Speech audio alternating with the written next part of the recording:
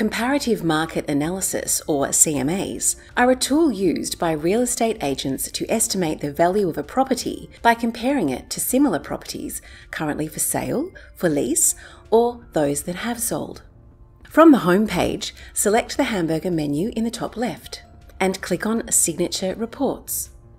In the new window, click into the search bar and type in the property address you want to create the report for and select the property from the list.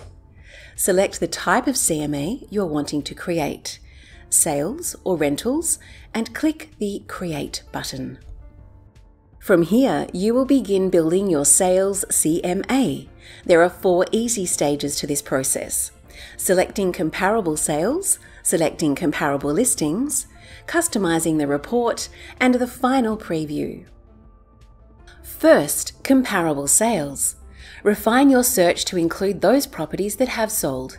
You can refine or filter your search by property type, radius, sold within period, land size, price, as well as limiting to the target suburb only, the number of beds, baths, and cars, and select Update Filters. A list of comparable properties will appear below based on your search criteria. Select properties from this list and add to the report. You can reorder the list of properties by dragging on the left hand side and remove by clicking the bin button. You can continue to filter and refine your search results as needed. Click the blue button next once you have selected your comparable sales. Now, complete the same steps as before, however, this time for those comparable properties that are currently listed for sale.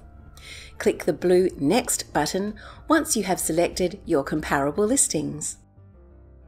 Now you can customize and personalize your report. Select your report style, color, cover image, and report details.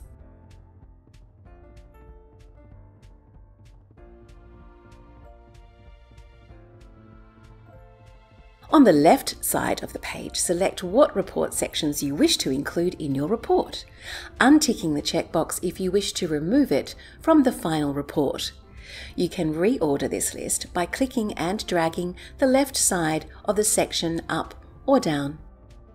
A standard CMA will include a cover page, cover letter, information on the target property, comparable sales map, comparable sales information, comparable listings map, comparable listings information, a suburb profile, demographic information, local schools, market trends, and a summary.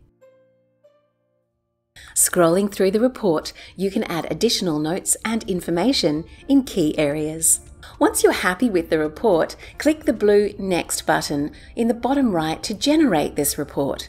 This can be downloaded in PDF document for printing or attaching to an email. Signature reports can also be generated by clicking the CMA button on any property page or by clicking the three dots from the search results page. And that's the basics of creating a CMA in RP Data. Check out our advanced CMA video if you have mastered the basics.